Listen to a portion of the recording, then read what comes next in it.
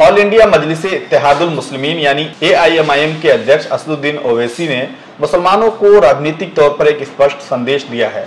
उन्होंने कहा कि मुसलमान भारत में अपनी हुकूमत तो नहीं बना सकते हैं, लेकिन अपनी लीडरशिप ज़रूर पैदा कर सकते हैं। उन्होंने मुसलमानों से आह्वान किया है कि वे अपना नेतृत्व विकसित करें, अपने नेताओं को विधानसभा और लोकसभा में भेजें। देखिए ओवैसी ने मुस्लिम लीडरशिप को लेकर क्या कहा।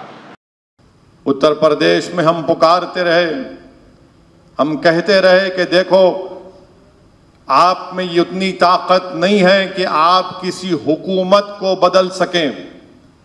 आप में इतनी ताकत थी, है और रहेगी कि आप अपने नुमाइंदों को कामयाब कर सकेंगे। मगर हुआ क्या? वही पुरानी सियासत, नाकाम सियासत जो पिछले पचास साठ साल से खेली जा रही है मुसलमानों से, उसको दोहराया गया उत्तर प्रदेश में। और आपने वोट तो दे दिया उत्तर प्रदेश में, मगर इसका नतीजा क्या निकला? इसका नतीजा ये निकला कि बीजेपी का दोबारा बरसर इकतदार जमात बनकर उभरी। अगर आप अपने नुमाइंदों को कामयाब कर लेते, अगर आप अपनी आवाज़ को उत्तर प्रदेश के विधानसभा में पहुँचा देते तो आपके लिए लड़ने के लिए, आपके हक के मुतालबे के लिए आइन का हवाला देकर आपकी जान और माल और तहजीब का तहफ़ की लड़ाई को लड़ सकता था। मगर आपके दिमागों में यह बात डाल दी गई कि नहीं, हमको हुकूमत को बदलना है। आप हुकूमत को नहीं बदल सकते।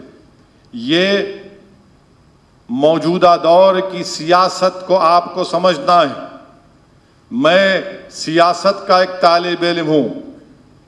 और मुझे जो कुछ अल्लाह सुबहाना ताला ने थोड़ा बहुत अपने फजल से मुझे समझने का सलीका अता किया, जो मैंने सियासत, मरहूम कायद सालार मिलत के पैरों के पास बैठकर सीखी, वो मुझे ये कहती है कि ये मौजूदा दौर हुकूमत आप नहीं बदल सकते, बल्कि अपने नुमाइंदों को कामयाब कर सकते। इस बात को आपको जहन नशीद करना है। ये कोई बुजदिली की बात नहीं कर रहा हूँ, बल्कि हकीकत को बयान कर रहा हूँ।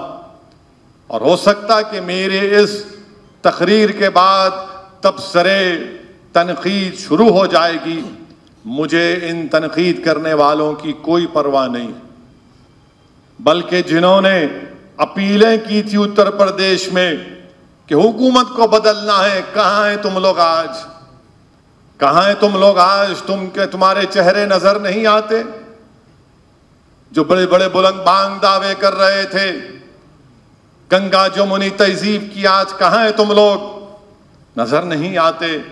इसीलिए मेरे अज़ीज़ दोस्तों और बुज़ुर्गों, जो मंदलिस इतिहादुलमसलमिन ने जो काम तेलंगाना में किया, जो मंदलिस इतिहादुलमसलमिन ने अल्लाह के फजलो करम से महाराष्ट्र में जो हमको कामयाबियाँ मिली जो अल्लाह सुबहाना ताला के फजल और करम से जो बिहार में मंदलिस को कामयाबी मिली, वो इस बात का पैगाम देती है कि आप अपने नुमाइंदों को कामयाब करो।